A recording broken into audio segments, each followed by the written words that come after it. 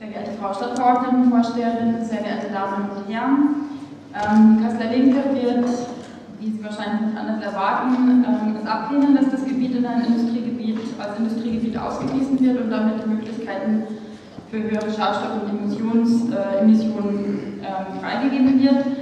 Erstens, weil wir ohnehin nach wie vor Gegner davon sind, dass diese ökologisch wertvolle Fläche überhaupt zum Gewerbegebiet wurde und ähm, wir auch nach wie vor bezweifeln, dass es zur Schaffung neuer Arbeitsplätze dient, sondern eher bisherige verlagert und deswegen werden wir den Antrag, den Antrag sowieso ablehnen. Ähm, der zweite Punkt ist aber auch, dass Bebauungspläne ja aufgestellt werden, um den Rahmen und damit auch die Grenzen aufzuzeigen. Und ein Gewerbegebiet sieht eben nur Gewerbebetriebe vor.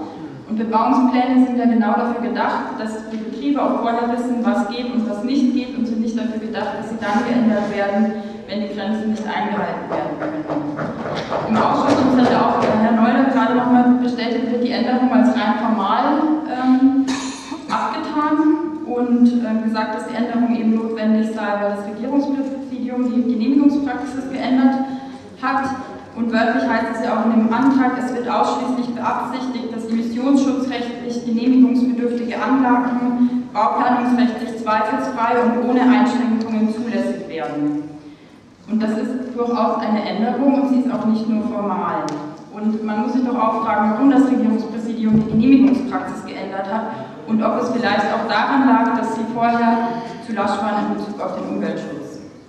Ich begrüße es, wenn es tatsächlich so eintritt, wie angekündigt, dass im Prinzip die gleichen Grenzwerte gelten sollen wie äh, in einem Gewerbegebiet. Das werden wir dann ja erst sehen. Aber ganz ähm, offensichtlich ist es, und das ist auch der dritte Punkt, warum wir heute ablehnen, dass wir die Entscheidung heute treffen, ähm, offensichtlich nicht gelungen, die direkten Anrainer ähm, einzubeziehen und zu informieren ähm, geschweige denn zu überzeugen. Der Ortsbeirat ähm, hat ja nach wie vor viele offene Fragen. Es wurde auch ähm, ähm, im Ausschuss ja gesagt, dass das Regierungspräsidium auf einer der nächsten Ausschusssitzungen kommen wird und Stellung beziehen wird. Ähm, das begrüße ich auch, aber das ist eben erst nach dem Beschluss heute. Also von daher hätte ich es besser gefunden, wenn man dann auch über den Offenlegungsbeschluss dann erst beschließt. Denn den Weg macht man ja heute schon dafür frei. Ähm, auch die Bürgerinitiative Langesfeld hat sich ja reaktiviert und ähm, kritisiert die Änderung, weil sie eben befürchtet, dass ähm, es zu einer massiven zusätzlichen Umweltbelastung führt. Das wird äh, im weiteren Verfahren ausgeschlossen sein, wenn es denn so ist. Ich hoffe, dass es so ist, aber im Moment ist erstmal der Auflegungsbeschluss damit gefällt. Und ähm, die Bürgerinitiative fordert ja auch, dass eben die Grundlagen der Planung eingehalten werden und auch die Ablehnung, Ablehnungsgründe des werden. Ähm, und sie wollen natürlich auch wissen, ähm, mit wie viel mehr Schadstoffen maximal, also wie viele den Bürgern zugemutet werden.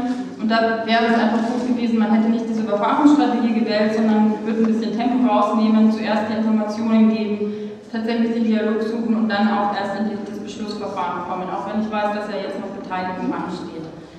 Ähm, und ähm, wenn, man, wenn manche von euch das Flugblatt der Bürgerinitiative bekommen haben, das ist ja heute auch vom Rathaus verteilt worden, wird dort ja auch kritisiert, dass die Stadt keine Fakten, sondern eher Verschleierung betreibt, um den Städten den Grundstücksverkauf mit Freiheiten in der Planung anzukurbeln. Und ähm, das Signal an die Betriebe, finde ich, ist da auch, und das ist leider nicht das erste Mal an die Betriebe, was nicht passt, passend gemacht, dann ändert man eben den Bebauungsplan. Deswegen sehen wir das gespannt auf das weitere Verfahren und hoffen, dass die Versprechungen.